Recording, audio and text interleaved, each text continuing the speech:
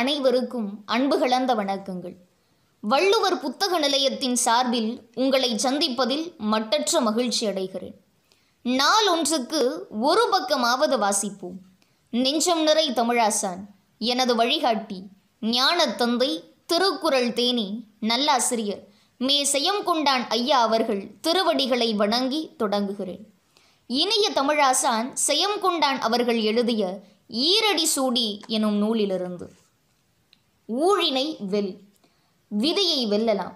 காலம் காலமாக நடந்து வரும் மிகப்பெரிய விவாதம் விதியா மதியா?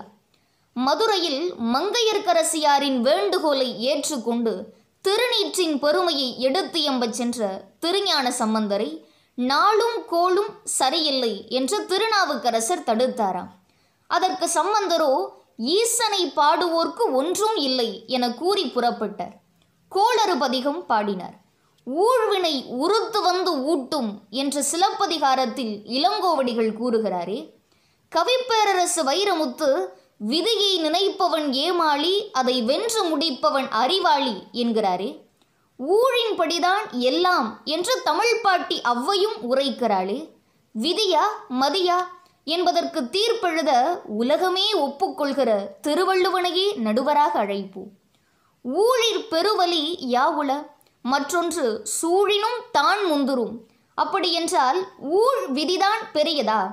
சற்று பொறுங்கள். ஊழையும் உப்பக்கம் காண்பர். உலைவு இன்றி தாழாது உயற்றுபவர்.